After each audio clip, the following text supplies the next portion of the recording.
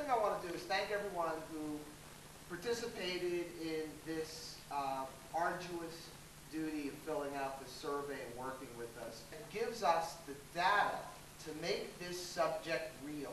The DiversityInc. Top 50 is in its eighth year. Uh, We have data now on over 700 companies in total.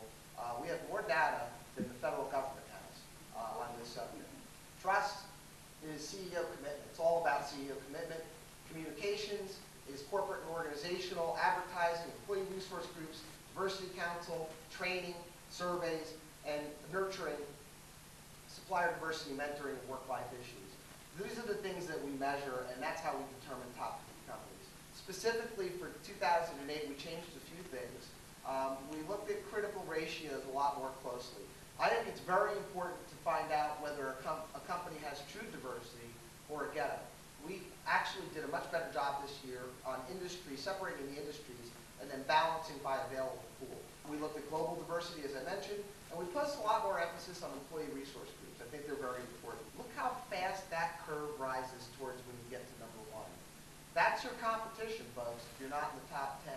Our data shows that if you don't have them, you'll have a very tough time recruiting them, and even if you do, you won't retain them. The number of chief diversity officers and what they do has changed dramatically. Our country will be less than 50% white by roughly uh, 2040. It's a big change. What makes a business case is money. How you make money as a consumer is by being educated. Dr. King set three conditions for a human being to become a citizen. Access to the vote, access to the ed education and information, and access to capital. The difference in the auto manufacturer not caring about black people in 1960 and caring very much about them by 1980 is what I call plurocracy. Pluralism is mutual respect. That I respect you, and in this country and around the planet, respect is not given until economic power is gained. I don't think that the best consumer-facing company in this country has any idea of what Hillary Clinton and Barack Obama have tapped into in this presidential cycle. Regardless of your politics, think about that emotion that has been elicited by two candidates who look unlike anybody else who's been a serious contender for the seat. So where are we going with all of this? We're going to do a top 25 colleges and universities for diversity. We're going to do a top federal agencies for diversity. And we're going to do our first regional surveys, which are geared towards attracting the 90 to 900 million dollar companies we're currently not getting. And that will give everybody a chance to participate. Global diversity is very complicated, but it is a numbers game as well. Um, on to the list.